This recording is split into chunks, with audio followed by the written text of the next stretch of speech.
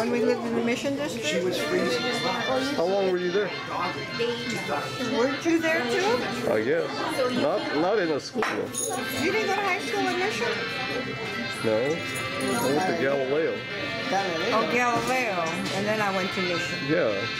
I went to school before you did. Don't forget. Not that many years. We were, because we went so early, I wanted to go and see St. Dominic's. It's still there, right? I wanted to go inside and see if my pictures are still on the St. St. Dominic's. I don't remember where that is. On Pine Street? Pine Stein. Oh yeah, yeah, yeah, yeah. It's Okay. still there. yeah. It's still We there? didn't close that, uh, we still have.